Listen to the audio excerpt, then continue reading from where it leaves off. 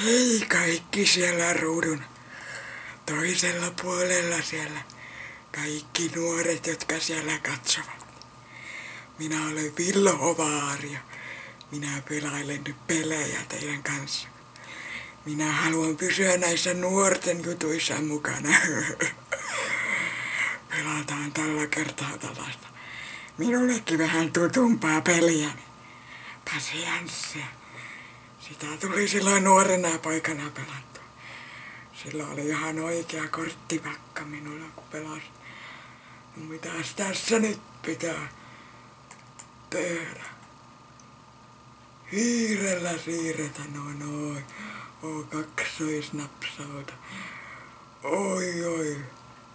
Selvä, selvä. Noin näinhän se toimii.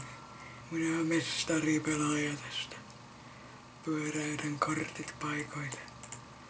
Eiköhän tämä peli pian ole pelattu. Asianssi on hyvä peli. Se.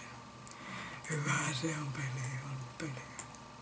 Nyt minä kyllä vanhat silmät ei enää näe kunnolla. Oi, oi, oi. En minä tämmöistä jaksa enää pelata. Ei minä silmät tästä sekaisin, kun ruutua tuijottaa. En minä enää jaksa. Niin. Minä menen tästä iltateelle vähän.